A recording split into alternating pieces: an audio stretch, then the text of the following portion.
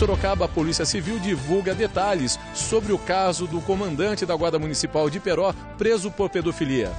No combate ao tráfico de drogas, 11 pessoas são presas em Sorocaba.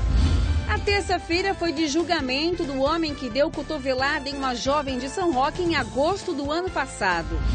A atividade física que mexe com o corpo e cuida da mente.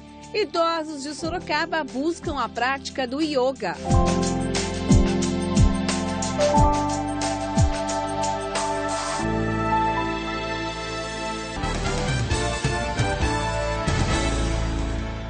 Está no ar o Noticidade com Simone Marqueto. Olá, boa noite. Comandante da Guarda Municipal de Peró, preso por suspeita de pedofilia, teria abusado de uma parente dele. Além dela, outras duas crianças foram vítimas do oficial. Ronaldo César da Silva Messias, de 45 anos, comandante da Guarda Civil Municipal de Iperó, está preso nesta pequena cela da Delegacia Seccional de Sorocaba. Suspeito de aliciar e abusar de menores, em seu primeiro depoimento ele negou as acusações. O tempo todo ele apresenta um discurso pronto, formatado, sempre ele alega que está sendo vítima de um complô de, de guardas municipais que seriam insubordinados e contrários à administração dele e nega os crimes todos. Com a prisão temporária decretada, o comandante da GCM deve responder por pedofilia e outros crimes. Ele responde pelo crime de estupro de vulnerável, pelo crime de corrupção de menor e pelos crimes, três crimes do Estatuto da Criança e do Adolescente. Ronaldo foi preso em casa na noite desta segunda-feira. Três vítimas foram identificadas. Uma delas seria parente do comandante. Uma delas relata que foi abusada sexualmente por ele quando tinha apenas nove anos, e as outras relatam que eram aliciadas a com ele manter relações sexuais, inclusive um sexo a três. Ainda segundo a polícia, computadores foram apreendidos na casa de Ronaldo e na sede da Guarda Municipal de Peró. As máquinas passarão por uma perícia ainda nesta semana. A arma de Ronaldo também foi apreendida. O guarda municipal estava na corporação desde 98 e há dois anos assumiu o comando. A polícia acredita que ele pode ter feito outras vítimas na região. Outras pessoas deverão ser ouvidas pela polícia. Causa nojo por meio de nota, a Prefeitura de Peró disse que vai adotar as medidas administrativas para o afastamento do servidor. Em Sorocaba, no combate ao tráfico de drogas, 11 pessoas foram presas. Os suspeitos foram presos na zona norte de Sorocaba. Segundo a polícia, um menor que acabou de sair da Fundação Casa era um dos gerentes do tráfico. Maicon Prestes da Rosa, 31 anos, para a polícia, seria o líder da quadrilha. Era uma quadrilha bastante estruturada e articulada. Ela possuía aí não só adolescentes, como diversas mulheres que agiam principalmente no recolhimento dos valores em dinheiro arrecadados na, na comercialização de drogas. Foram dois meses de investigações. Com os acusados foram apreendidos 90 pinos de cocaína, um revólver calibre 38 e produtos de roubo e furto. Os detidos devem responder por tráfico ou associação ao tráfico de drogas e serão encaminhados a cadeias da região. Ainda em Sorocaba, a polícia militar prendeu um casal também suspeito por tráfico de drogas na Vila Helena.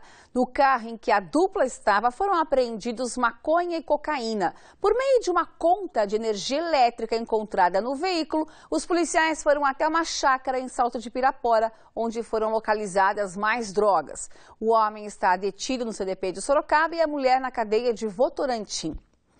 E um corpo foi encontrado queimado no conjunto habitacional Ana Paula Eleutério, o Habiteto, em Sorocaba. De acordo com os policiais, a vítima estava com vários pneus ao redor do corpo que ainda não foi identificado. A suspeita é que o crime tenha sido motivado por dívidas com traficantes. É por isso que a gente reforça a nossa campanha, a TV Sorocaba SBT é contra as drogas, porque elas trazem, como vimos, consequências.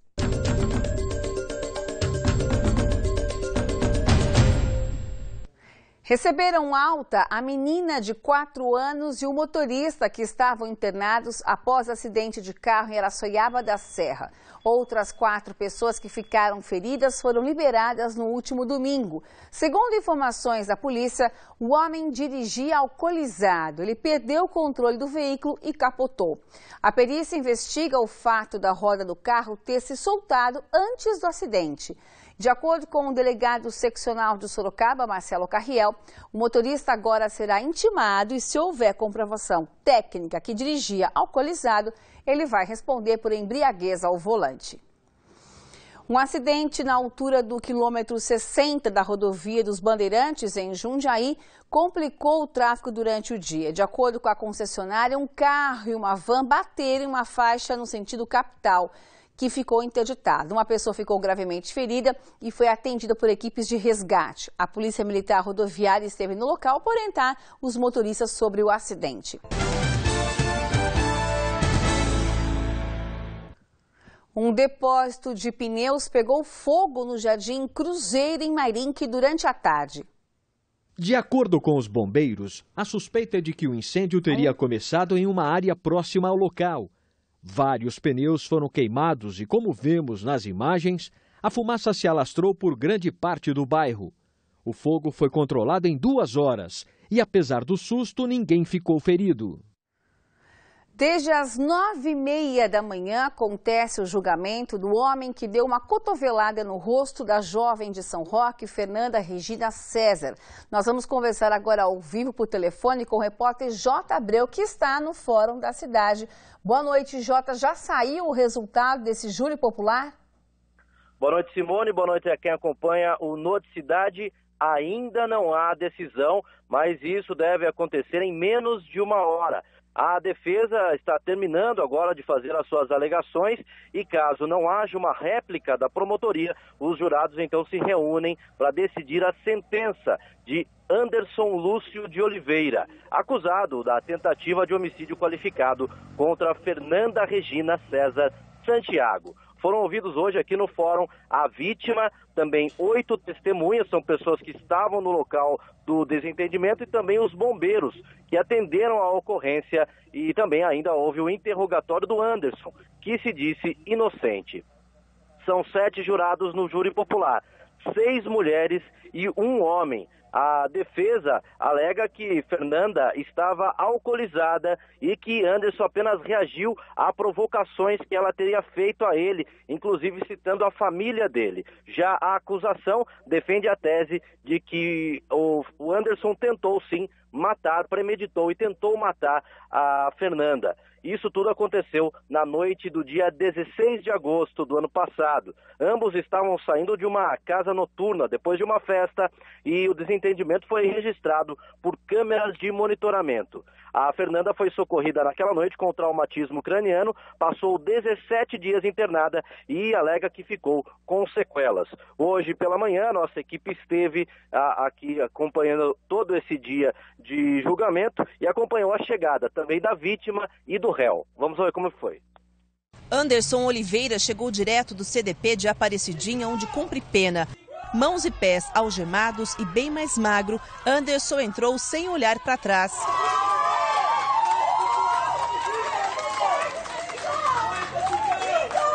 Parentes se emocionaram ao vê-lo. O irmão, a cunhada e a sobrinha acompanharam do lado de fora. Um rapaz que levanta seis e meia, seis horas da manhã para abrir um bar, ajudava minha mãe. Minha mãe tá agora tocando sozinho um bar para se manter.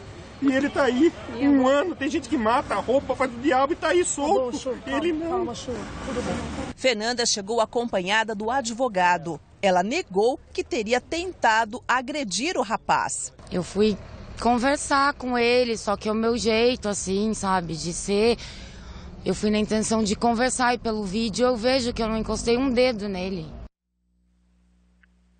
A nossa equipe acompanhou também aqui a movimentação dos advogados. Nós conversamos sobre quais as teses defendidas, tanto pelo advogado de defesa quanto pelo advogado de acusação. Vamos conferir.